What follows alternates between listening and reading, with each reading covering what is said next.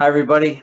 It's Shane here today, and I just wanted to share with you how you can find your own quarterly investment report that we provide to you through your vault at mywealthchart.com.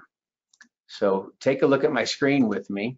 The first thing you do is that you go to mywealthchart.com, or if you have a bookmarked in your phone, but you access it and log in. So there's the home page. The next page is your login, of course, where you put your username and password. If for any reason you've forgotten it or you haven't logged in or you need a new one, it's the click of a button for us to resend it to you. So that's no problem. Just let us know. We're available daily for you. Um, but once you get there, your home page is going to have your personal information.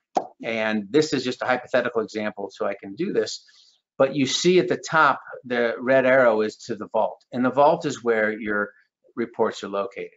So when you click on the vault, that's going to take you to a section of folders inside of your vault. And if you look on the left-hand side, the bottom folder um, is called Orion, and that is where your investment reports are contained. And so once you click on that, you're going to see all the actual reports themselves. So if you start at the bottom with me, and if you look, you see there's a Q1 report at the bottom in yellow. There's a Q2 report, there's a Q3 report, and then there's an annual A wrap-up report for each year. So that's the structure that's provided for you, and it's available for you to access anytime. You don't have to meet with us to uh, get it, and you can look back as well.